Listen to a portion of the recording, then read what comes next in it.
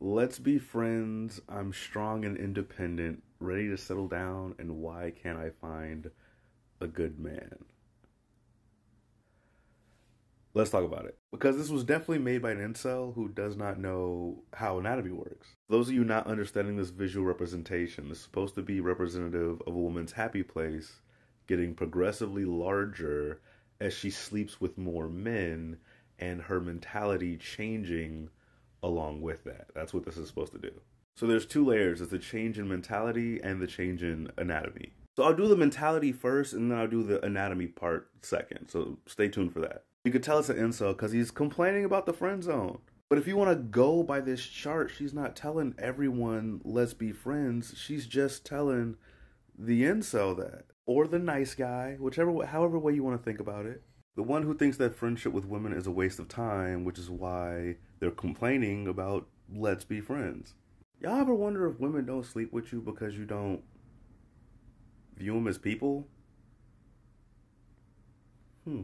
This one is supposed to be ironic. It's supposed to be some sort of irony that women say that they're strong and independent while sleeping with more men. But I don't really understand how those are even related. But it's not ironic because strong and independent women sleep with who they want to. Like that's what you would expect them to do. So like it's the opposite of irony. That's it's just what you would expect. I think they put this here because they didn't have anything better to put here, and so they just threw in just a phrase that they hear women say sometimes. This one's supposed to be like after you've been through a ton of men and are now a gaping hole that's when you're ready to settle down. It's supposed to be like a, a, play on that. Which is wild because so many men have it in their head that they're supposed to sleep with like as many women as possible and then settle down. In fact, that's what the phrase settle down implies is that at first you was wildin' and then you settled down. But how can men sleep with a bunch of women and then settle down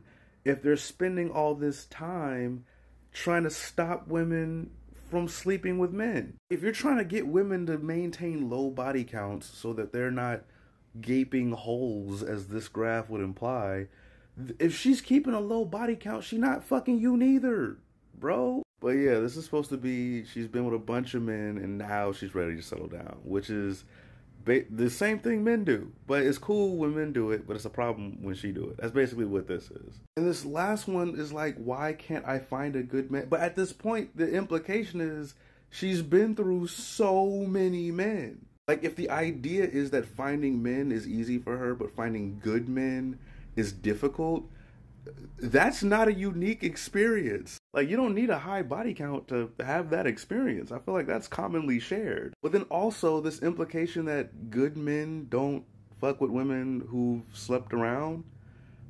Who who told you that?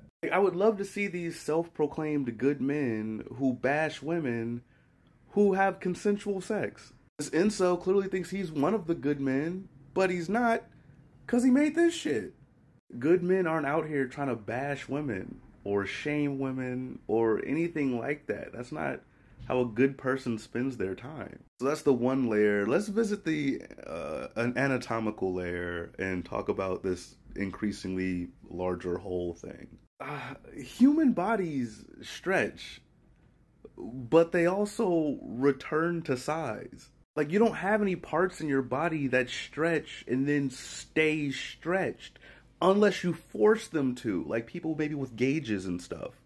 But by default, when your body stretches, if you stop stretching, it returns back to base. Women are capable of pushing a human baby out of their body and then returning back to base to the point where you can't even tell they had kids. But you think her sleeping with a bunch of men is gonna stretch her permanently? And not only that, but more permanently than her sleeping with the same man a bunch of times.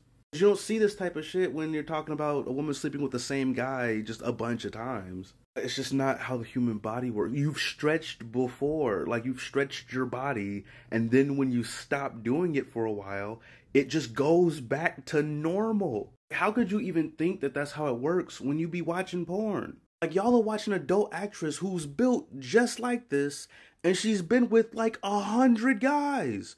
And not just regular guys, the biggest guys in the world. Like it just screams, I don't know how women's bodies work. Like, is it possible to wind up stretched like this? Absolutely. But generally speaking, in the same vein as like gauges and stuff, it was intentional. Like they were trying to be stretched. But this idea that if you sleep with a bunch of men, this is gonna be the result. Like it just it just screams I don't sleep with women. Like I don't know how women work because I don't have the experience. Y'all gotta stop making stuff like that. Like it's so wild that the people campaigning the hardest for women to stop sleeping with men are men who want to sleep with women. They're the ones doing it. Like y'all be really fucking it up for yourselves. Like if I had a nickel for every time a dude talked himself out of getting laid, like he messed it up by just saying some dumb shit, I'd have so I'd have all the nickels. There wouldn't I'd have every nickel. But anyway, that's my breakdown. I'll see you guys in the next video.